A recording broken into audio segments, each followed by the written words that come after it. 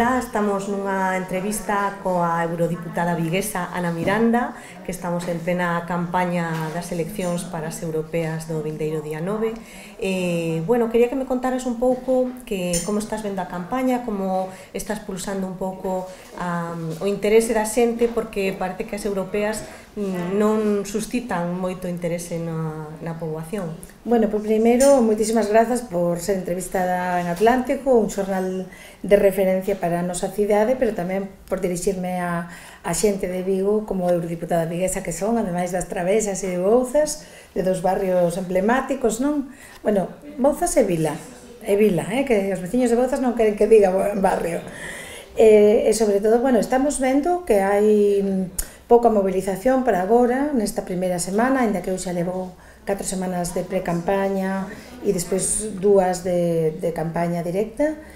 pero que mm, aos lugares aos que vamos, sobre todo cos sectores cos que nos reunimos, si hai moito interés. No sector agrario, no sector da pesca, onde estiven co Foro Galego da Inmigración, estamos reunindo tamén con colectivos de temas que afectan directamente Bruxelas, no? como pode ser o tema de Altre neste, nestes momentos, mañan mesmo terei o meeting en Santiso, é a primeira vez que en Santiso hai un, un meeting a nivel de escala galega, precisamente porque é un problema moi grave, e despois tamén na reunión coas mariscadoras e cos sectores máis afectados polas políticas europeas. Entón, aínda que non hai ambiente moito na rúa de eleccións, porque houve moitas eleccións seguidas, a xente está cansa, así que estamos recibindo a través das redes e tamén nos mitins moito Moita boa sintonía co BNG despois do resultado tamén das galegas e tamén co traballo feito no Parlamento Europeo que, bueno, hai como evidencias así de, de traballo que tuveron resultados, non? Como sí, a Ría que dirías, de Burgo. que destacarías do, do teu traballo no Parlamento Bueno, eu humildemente creo que o feito de no saneamento das rías tan importante ademais para todas as nosas rías no momento no que hai unha baixada de productividade do sector marisqueiro Vémolo en Pollo, vémolo en Arcade, vémolo tamén na ría de Arousa, fundamentalmente en Carril e, e tamén nas zonas de Muros, no? co tema eh, do berberecho da Meixa. E destacaría moito o tema do saneamento da ría de Burgo, no? como bandeira, de, desa posibilidade de que o traballo dunha eurodiputada galega do BNG, que é a voz europea e que defende en Europa os sectores productivos e o traballo galego, pois conseguiu desbloque, desbloquear eh, 36 millóns de euros que estaban bloqueados e que non iban a ir para o saneamento. E entonces a raíz da nosa denuncia pois conseguiron desbloquearse e xunto co traballo coas mariscadoras e os mariscadores. Entón creo que hai unhas posibilidades de conseguir máis fondos para o país, de luitar por temas de vivenda que é o que máis preocupa nestes momentos a, a xente. A vivenda non só está inaccesible cara sino que en moitos casos non é unha vivenda decente, nin aluguer, e sobre todo que haxa moitas familias e persoas solas que non poden pagar eh, unha hipoteca nin tampouco un alugueiro. Eso Porque, é que un problema facer? fundamental. Que se pode facer dende Europa para facilitar o acceso á vivenda? Pois nós estamos pedindo dende o BNG un fondo europeo para vivenda, un fondo como que vai entre os fondos de cohesión, e que permita que Galiza, como ten moitas zonas tensionadas de vivenda, como é o caso de Vigo, que poida ter a, construción subvencionada con fondos europeos para a vivenda pública. Fais en outras partes de Europa, por que non se pode facer aquí? Creo que é unha oportunidade de, de por lo menos de pelexalo. Logo creo tamén que nestes momentos a, sigue habendo un, un problema coa migración da mocidade. Non hai familia galega que non teña un parente que este no estranxeiro. Cando aquí estamos con unha formación moi boa, con unha formación profesional tamén moi capacitada e eu vexo nos avións cando collo aquí no aeroporto de Vigo ou, ou en Santiago ou en Porto que moitas veces como non hai voos hai que ir a Porto, claro pois vexo que hai moita xente que marcha a traballar en empresas de fora a empresas que lle pagan tres veces máis, que lle dan a casa a xente vaise polo traballo. Entón temos unha xente moi formada e que non se está revertindo no, digamos, no desenvolvimento que se necesitaría. E por outra parte, nas eleccións europeas decídese moitas cousas, decídese sobre o que comes, sobre como comes, os traballos, sobre se hai un recorte en pensións ou non, sobre a vivenda, sobre todo o que sería o investimento social, que hoxe en día está un pouco tamén cuestionado polo investimento en armas, non? E nós temos unha visión pacifista de que creemos que ten que ir o gasto para temas ah, sociais. Quería preguntarche tamén que pensas da política que está tomando a Unión Europea e España, e, pois, por exemplo, en Ucraína e despois falamos de Gaza. Uh -huh. Bueno, no tema de do investimento en, en armamentos estamos vendo que non está dando un resultado non hai un, unha negociación pacífica de conflictos e no BNG denunciamos e sobre todo demandamos que haxa unha solución negociada no marco de Nacións Unidas, sino marco de negociación de conflictos. No tema de, de Gaza, no tema do xenocidio palestino, é unha aberración o que está pasando. A señora von der Leyen vai a vir aquí, vai a estar mañá, a, moi, moi cerquiña onde vou eu a ter o meeting. As dúas somos candidatas ao Parlamento Europeo, ela pola ultradereita alemana, eu por un, un partido de esquerdas, nacionalista, do povo, galego, ni unha máis que a outra. A diferencia é que ela é a presidenta da comisión e eu son unha eurodiputada galega. Pero que veña aquí, a nosa terra, cando está perpetrando e amparando o xenocidio palestino, e sobre todo co tema de Altri ao lado, a nos parecenos de verdade moi grave, non? Porque non tivo unha posición de condena da barbarie do que se está producindo do xenocidio palestino. É un clamor xa a nivel mundial, o propio Guterres que, que... en Nacións Unidas, non? Que opinión eh, te merece eh, a, a eh, declaración de España e outros países eh, mm. sobre, sobre Gaza? Bueno, pareceme que a declaración sobre todo de Palestina e do recoñecimento por parte do goberno español é benvida, por suposto polo BNG, e o que creemos é que hai que pasar unha fase co que está acontecendo deste xenocidio en Gaza. Eu estiven ali, en a, tres, a cinco minutos, realmente na fronteira egipcia hai tres meses, puden ver como había 2.000 camións parados de axuda humanitaria que non pasan a fronteira porque Israel non lles deixa, é un auténtico xenocidio, un auténtico genocidio, e creo que a posición española e europea, quizás a española é un pouco máis avanzada, non? Eh, creo que, así eu dixen tamén ao presidente Sánchez cando estivo no Parlamento Europeo, co que falei moi educadamente, non como falaron os deputados do Partido Popular nin, nin tampouco os deputados de Vox que o insultaron ali. Creo que hai que ter tamén unha cuestión institucional de cortesía e de E, e o que deberíamos era de romper relacións diplomáticas na Unión Europea e tamén no caso español, porque Israel xa non entende de, de política nin de negociación, está eh, masacrando todo un pobo, está expulsando eurodiputadas cando van ali, está eh, atacando a, a Nacións Unidas, agora acaba de tomar onte a sede da UNRWA, da Organización de Axuda aos Refugiados Palestinos, que é unha organización de Nacións Unidas moi digna, por certo, e, e o que quere é tomar todo o territorio e deixar os palestinos aillados. Isto é, é un caso esbel internacional, pero hai que buscar vías pacíficas de solución O que pasa é que Israel non entende o pacifismo, só entende eh, unha vía que deixalo aillado como se pasou con Sudáfrica e, por tanto, creo que se debería de suspender o acordo de asociación coa Unión Europea. Mm eh, volvendo á política doméstica da Unión sí. Europea, eh, o que un tema un, un sector que sí que nos preocupa moito en Vigo é o sector da pesca. Por suposto. Eh, que, que balance faz deste comisario de pesca e como nos tratou? Bueno, a verdade é que o comisario de pesca, sin que dichos, o comisario eh, que non entendeu a pesca galega, que nos tratou moi mal, que non nos escoitou, porque eu pedinlle varias entrevistas e non escoitou, solamente escoitou ao final un pouco co tema dos pellets, pero que non entende a pesca, un comisario que, non, que está posto para realmente mm, para provocar unha ofensa moi grande á pesca galega, porque cando foi a decisión da pesca de fondo, pero tamén con co feito de non producirse unha reforma da política pesquera común que é pedida hai desa, dez anos, e, Eu tive un, teño un balance moi negativo como eurodiputada galega na Comisión de Pesca, e moitas veces que o vin falando ali, nunca me respostou ás preguntas, un balance non moi negativo e só agardo que non sexa comisario de pesca outra vez e que haxa un comisario ou comisario de pesca que realmente atenda os intereses do noso sector. Eu tive máis de 40 intervencións no Parlamento Europeo defendendo a pesca galega,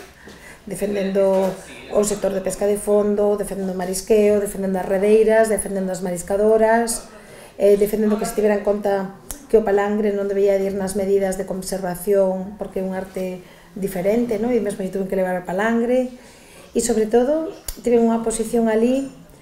eh, de defensa directa, falando sempre co sector, tamén contra a eólica mariña deses macroproxectos eh, contaminantes, máis que contaminantes que degradan o territorio e que poden afectar ao sector pesqueiro, como pode pasar na Guarda, onde hai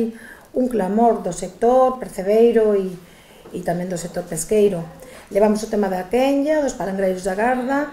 levamos todo o que son as cuestións de, de falta de productividade do marisqueo e nunca nos escoitou solamente xa insisto, cando foi a crise dos peles que aí tivo unha posición máis de escoito por un tema máis medioambiental pero, pero creo que moi nefasto crees que debería estar separado a área de medio ambiente da de pesca? Totalmente, e nós dende o BNG, se sacamos ese escano europeo e se a xente de Vigo e de Galiza nos apoia para ter unha voz galega da pesca e do marisqueo ali, nos vamos a defender que haxa un comisario comisario de pesca separado, porque aparte somos o, a, o principal pobo de Europa en, en, en materia pesqueira, somos unha nación pesqueira, e creo que se non teñen a ningún non, non se preocupen que me poden poñer a min, eh? Pero como eso non vai ser, porque é unha cuestión da decisión dos estados, temos que ter alguén que coñeza a pesca, non un señor como Sinquevichus que, que foi foi unha afrenta, non? Eh, sobre a política pesqueira común, eh, consideras eh, que ten que ten un, unha nova volta, unha adaptación Sí, a política pesqueira común non responde ás necesidades da flota nestes momentos. Hai un problema moi grande de relevo xeracional, un problema moi grande de acceso a caladoiros, un tema de tax e cuotas totalmente negativo para a flota galega, como, como sempre, pero agora peor, e tamén eh, comprometeronse a facer unha reforma na que estivera en conta tamén o elemento social. Cando fan toda a proposta da, da reforma da pesca de fondo e da, de quitarnos de moitos caladoiros, pois non teñen en conta o impacto social que poida ter. E iso é algo que está pendente e que ten que facer a comisión. Entón nós o que pedimos é que nos deixen traballar nas nosas rías que se exclúa dos tax e das cuotas é dicir, das posibilidades de captura a flota artesanal galega porque é unha flota que está ben regulada es, coa regulación que existe a nivel galego de artes, de pesca E iso debería de ser o correcto, pero non hai maneira. Bruselas non lle importa a pesca galega, prefire que entre importación de peixe de China, de Marrocos e de outras partes, pero non está protexendo ao seu sector europeo. Sempre digo que se a pesca galega fose alemana, tería outra protección. E tamén está eh, moi de actualidade nestes meses en relación con Europa os fondos Next Generation. Como, Sen dúbida. Como Como ves como se está repartindo e a, o papel de España na negociación destes fondos? Bueno, os fondos Next Generation terían que ir mm, para o que está facéndose de, en parte, que é a renovación ¿no? de edificios, adaptación, a, o que sería pois un aforro enerxético, para, digamos, construir, eh, non para destruir.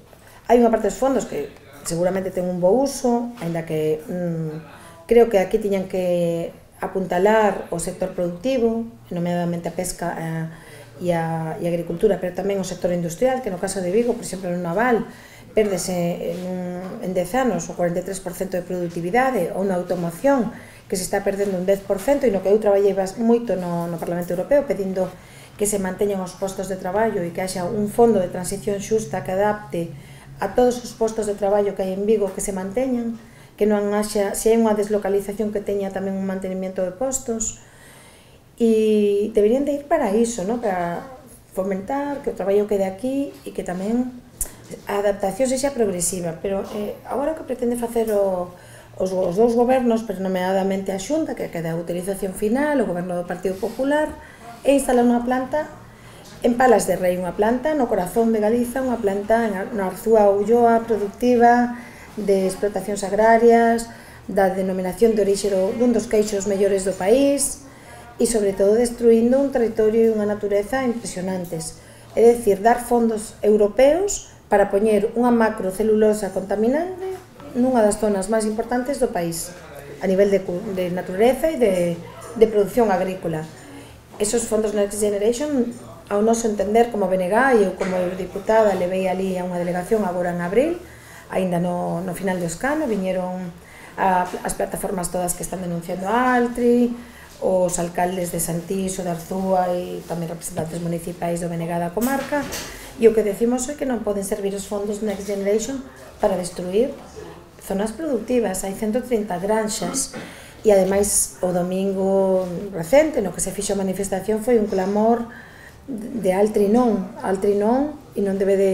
usarse os fondos europeos extraordinarios pola pandemia, que son os Next Generation, para destruir o que logo igual hai que volver a limpar, ¿no? como pasou co saneamento, que se construen depuradoras que non funcionan e que logo hai que volver a sanear. Creo que hai que ser máis eficaces na xestión. Porque lle dirías a xente que nos está vendo, que nos escoita, que, que Europa é importante que a súa decisión, o seu voto é importante.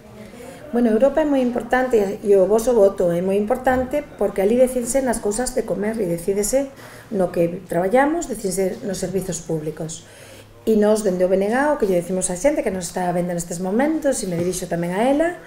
é que eh, unha deputada galega como a min, unha deputada do BNG, vai a estar sempre sendo leal aos intereses de Galiza, aos intereses galegos, os intereses de Vigo, os intereses das clases traballadoras, os intereses da xente que ten máis necesidades, pero tamén da xente que está traballando e que vive para traballar, pero que non quere que o, o seu salario vaya totalmente eh, eh, pois pues a ese pago casi único de hipoteca ou a vivir peor que vivirían os seus pais, porque os nosos fillos eh, con esta tendencia van a vivir peor. E entón eu teño demostrado, e o BNG, como eurodiputada galega, de levar os intereses galegos á Eurocámara e de leválos sen ataduras de falar da P9, de falar do corredor atlántico, de que o Porto de Vigo está incluído na rede transeuropea. Como é posible que Vigo ou Galiza quedara fora do corredor atlántico? Pero si somos corredor atlántico, non somos océano atlántico, non somos eh, o principal porto non só do Estado, sino o segundo de Europa, despois de Rotterdam, e, por tanto, tiña que haber maiores fondos e maior apoio. E iso é o que defendimos nestes anos no Benegali, sen permiso a Madrid, no como fan pois, os partidos das liortas madrileñas que están a gresca de se a, a P9 foron uns ou outros. A P9, que tan importante para, para os galegos e galegas, está nestes momentos cuestionada en Bruselas, está sendo investigada. E por iso me dirixo que é importante o voto porque vais decidir o 85% das nosas vidas en legislación europea. E se non está alguén dos nosos, da nosa xente, do noso povo, que fale po, pola xente do país,